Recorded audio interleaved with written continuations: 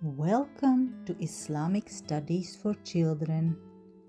In our fourth lecture, we are going to talk about Iman, faith, and six things in which, as a Muslim, we have to believe in. So let's get started. Assalamu alaikum, my friends. How are you doing today? Did you had a good day in school? Assalamu alaikum, Abdullah. Assalamu alaikum, guys. Today is our fourth lecture. Congratulations. Welcome back.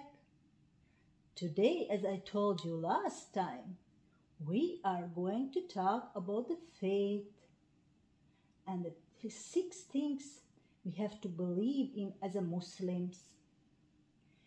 You, Abdullah, repeat for our friends which are these six things you are talking about? Yes, of course.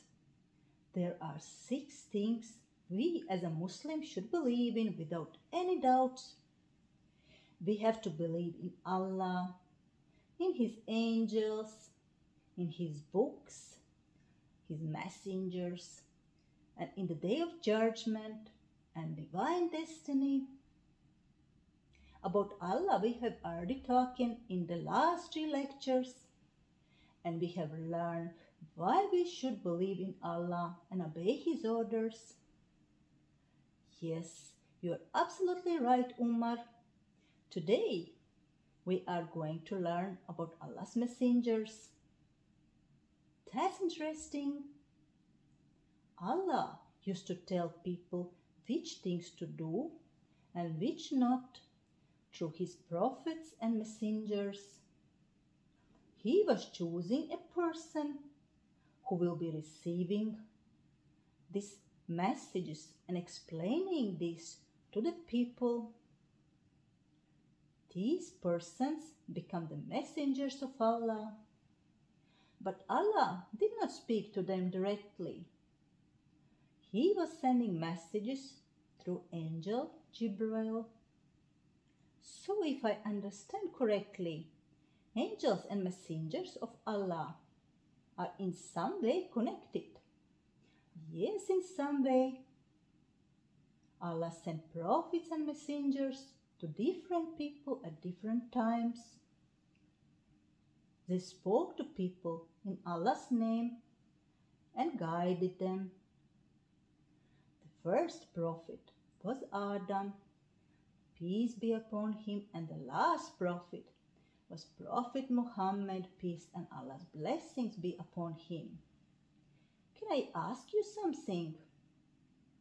After mentioning prophets Adam's name, you said peace be upon him, and after prophet Muhammad's name, you said peace and Allah's blessings be upon him. Why did you say that? Because we have to show the special respect to them. Whenever we are reading, listening, or saying our last prophet's name, we always in a voice and in or in heart say peace and Allah's blessing be upon him. And in Arabic, we are saying Sallallahu Alaihi Wasallam. Yeah, that was really interesting. Did you know, guys? But how many prophets were sent to teach people? The Quran mentions 25, but there are many, many more.